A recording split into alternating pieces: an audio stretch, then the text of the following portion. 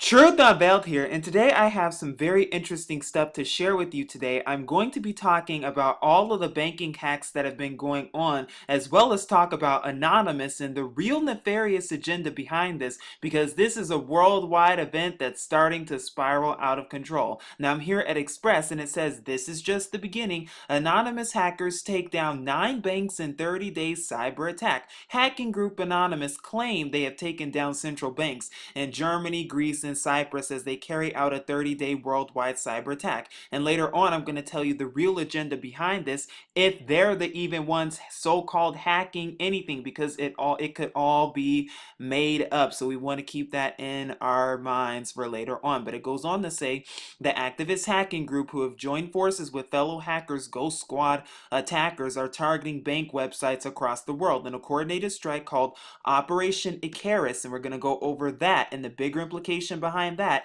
the hackers took the Bank of Greece offline for a few minutes. A Bank of Greece official said the attack lasted for a few minutes and was successfully tackled by the bank's security systems. The only thing that was affected by the denial of service attack was our website. And like I said, later on, I'll go over the bigger agenda behind all this.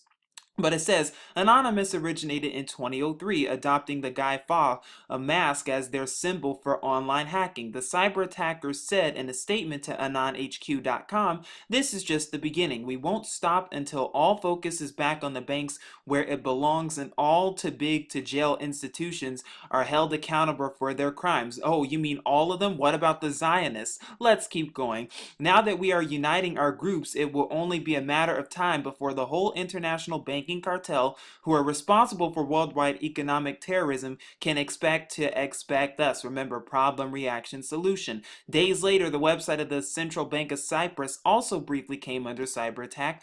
The central bank's website came under some form of a denial of service attack, a spokeswoman said on Friday via email. Now, now mind you, all of this is happening on a Friday as well, and it's being reported on a Friday. Why is that so important? Let's keep going.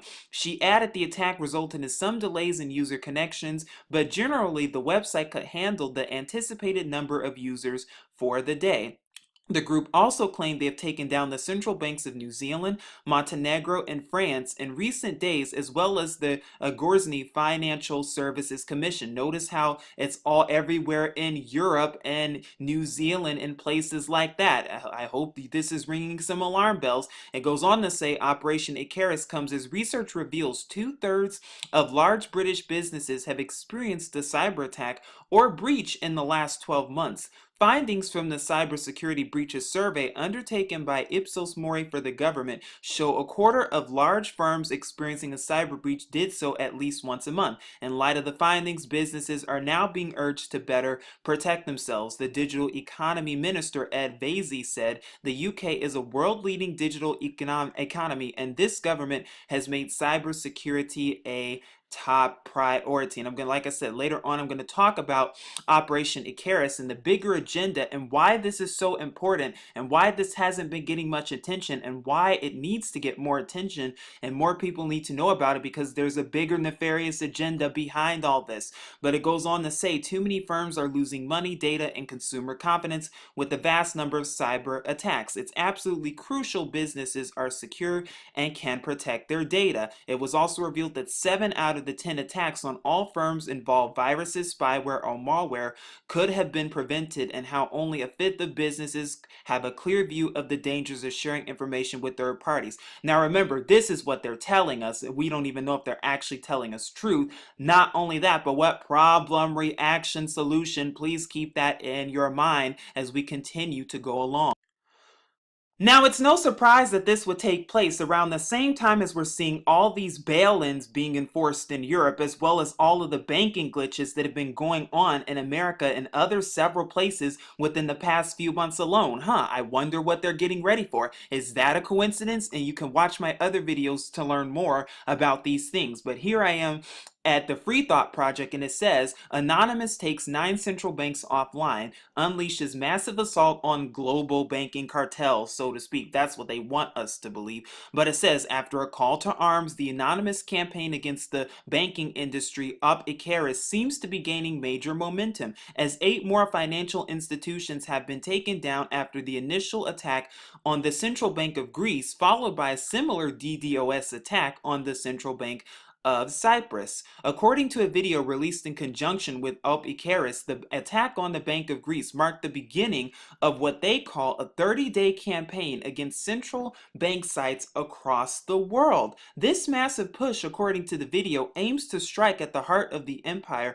by once again throwing a wrench into the machine. And notice how they're using controlled opposition to do that. You heard me. Let's keep going. And some of the most recent attacks over the weekend, hackers reported reportedly targeted the Central Bank of the Dominican Republic, the Dutch Central Bank, the Central Bank of Maldives, and Guernsey Financial Services Commission, according to the official Op Icarus Twitter account. Now you can see what it says. So it talks about the Guernsey Financial Services Commission, and this was back on Friday, May the 6th of all days. Very interesting and suspicious indeed. Then it goes on to say the National Bank of Panama and the Central Bank of Kenya were also reportedly targeted a day later, according to hacking news publication HackRead.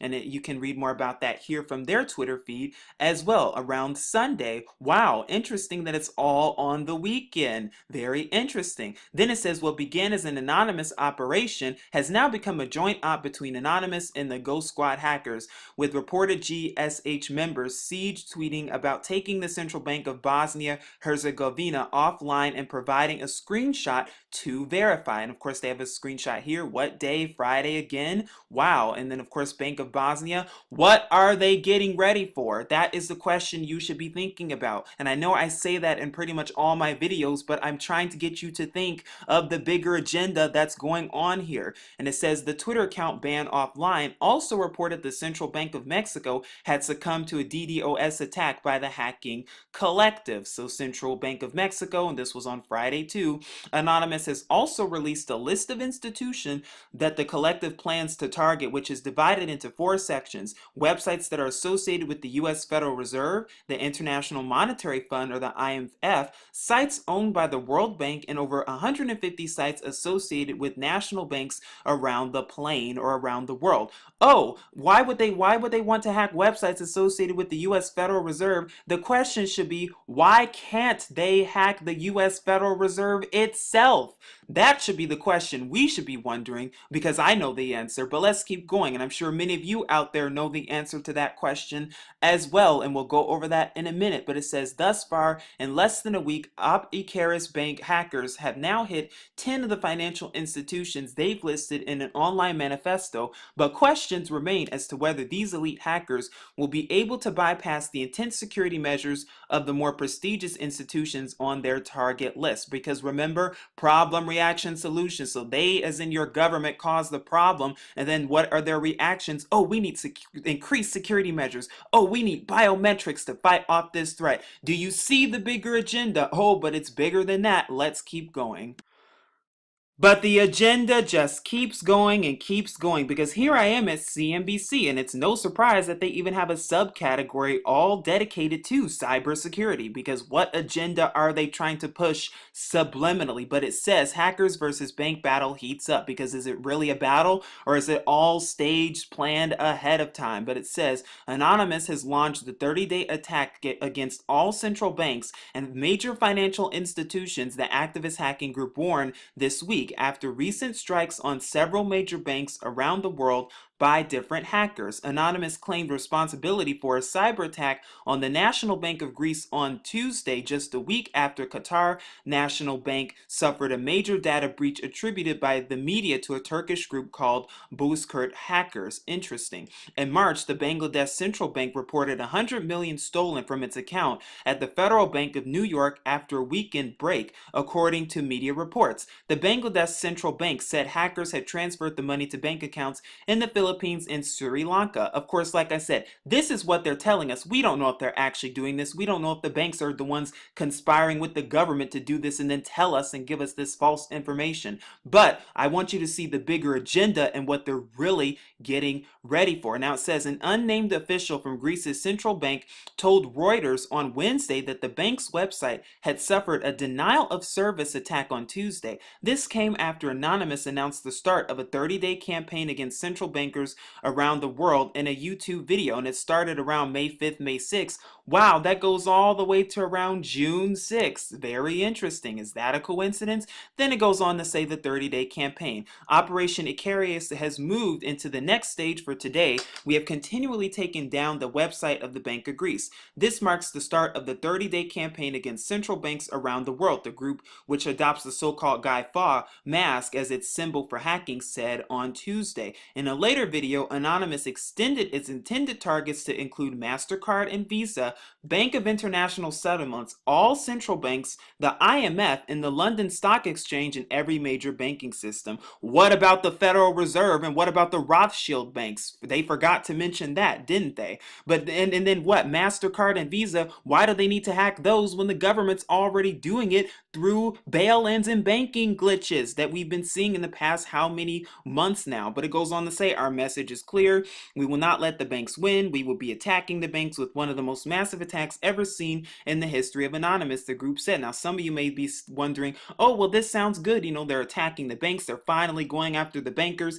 This is a good thing, isn't it? Oh, but when you understand the bigger agenda, then you start to understand exactly what they're getting ready for and just who Anonymous really is. Now, I'm here at the International Business Time of India, and it says the Anonymous Hacking Collective has threatened a slew of financial institutions, including the London Stock Exchange, PayPal, and NASDAQ as part of a 30-day cyber assault called Operation Icarus. And we're going to go over this and where this name really comes from and what this name really means and the bigger agenda behind it. Now, it goes on to say in a video statement posted on YouTube on the 4th of May, 2016, the notorious group of hacktivists said, We will not let the banks win. We will be attacking the banks with one of the most massive attacks ever seen in the history story of Anonymous. It continues, We will be giving many tools to each and every Anon all over the world, and we will be holding down PayPal, MasterCard, Visa, NASDAQ, Bank of International Settlements, all central banks, IMF,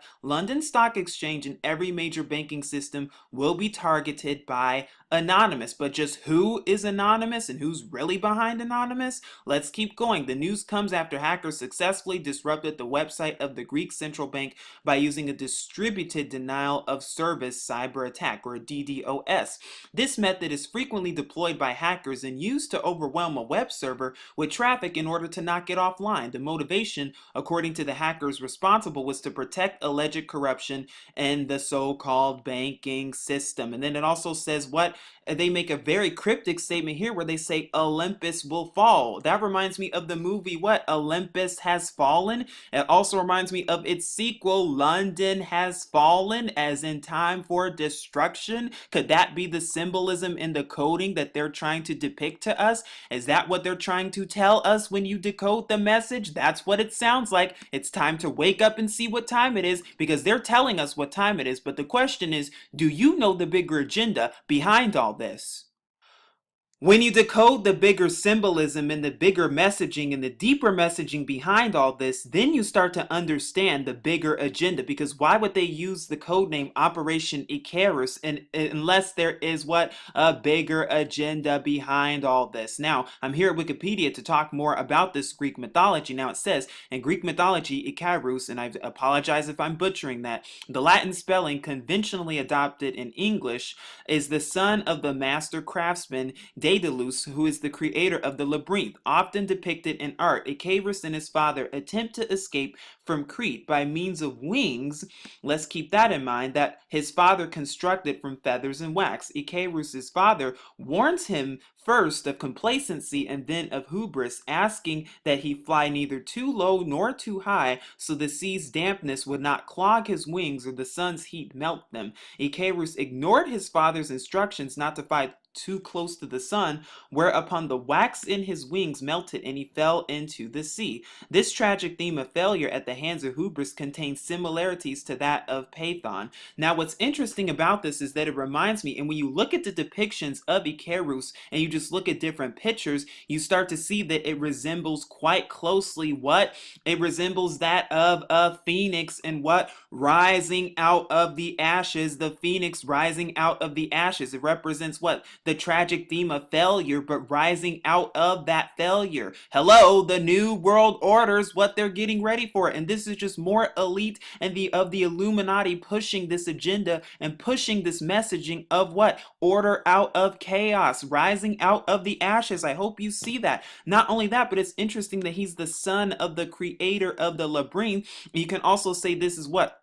Represents what? The sun god but also it represents confusion. Uh, the, the labyrinth represents a maze difficult to find the exit. Hello it's a giant code for what? Getting ready for the illuminati getting ready for the capping of the pyramid the capping of the new world order destruction even at the door. That's what it's symbolizing and that's why they're pushing this big operation because we know darn well who funds anonymous and who anonymous really is but let's keep going. I'm here at Hang the Bankers, and what a very telling website this is, but it says 95% of Greek bailout money went to the European banks. Now, of course, this is talking about the bailouts and, and the bail-ins in Greece, but it says a recent German study just confirmed what 11 million Greeks already knew, that they are a people fully conquered by criminal mega banks and the corrupt politicians and technocrats in their employ. And it says, get ready for another epic screw job this summer. But it says from the actual newspaper and the source, which you can go to. I'll leave the link below. Some 95% of the 220 billion euros disbursed to Greece since the start of the financial crisis is loans from the bailout mechanism has been directed towards saving the European banks. That means about 210 billion euros was eventually channeled to the Eurozone credit sector, while just 5% ended up in state Uh, coffers, according to a study by the European School of Management and Technology, or the ESMT in Berlin. Europe and the International Monetary Fund, or the IMF, or another alphabet soup, have in previous years mainly saved the banks and other private creditors. They have, concluded the report published yesterday in German newspaper Handelsblatt, but ESMT director Jörg Rocholl told the financial newspaper that the bailout packages mainly saved the European banks. The economists who took part in the study have analyzed each loan separately to establish where the money ended up and concluded that just 9.7 billion euros, or less than 5% of it, actually found its way into the Greek budget for the benefit of citizens. So why did it go to the banks?